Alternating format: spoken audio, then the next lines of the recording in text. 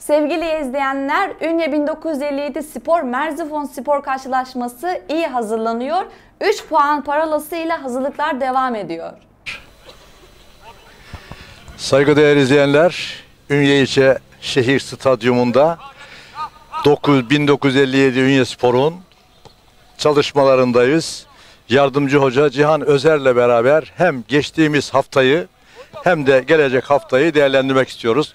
Hocam kolay gelsin. Sağ olun, teşekkürler. Buyurun. Ee, geçen haftaki maçımız, Niksar maçı zorlu bir maç sürecinden geçtik. 3 puanla çıktığımız maçta maalesef 1 puanla yetindik.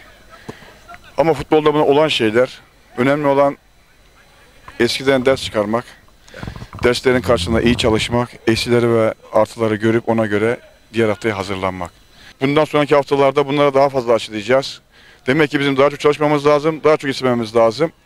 Ee, önümüzdeki hafta bu haftaki maçımız Allah'ın izniyle Merzifon maçı. Merzifon'da tecrübeli takım, top yapan takım. Çalışmalarımız sonuçta devam ediyor. Ama bizim şöyle bir düşüncemiz var oyuncu olarak, teknik heyet olarak. Taraftara, Ünyeli halkına söyleyeceğimiz hiçbir korkumuz yok. Hiçbir güvensizliğimiz yok.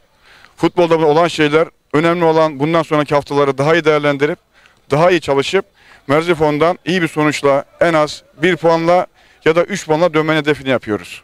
Peki hocam, e, taraftarlarınızın performansını nasıl değerlendiriyorsunuz? Şimdi taraftarlarımız tabii ikinci yarı yeni bir yönetim, yeni bir teknik heyet, yeni bir futbolcu kadrosu oluştu.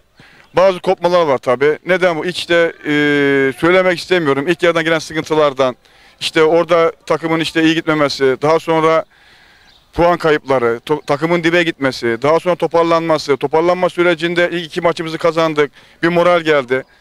E, bu moralin neticesinde tabii ki biz de e, teknik heyet olarak, yönetim olarak e, taraftarın daha ateşli, daha azimli olmasını istiyoruz. Ama tabii nasıl söylenen denir ya ölü toprağı var denir diye.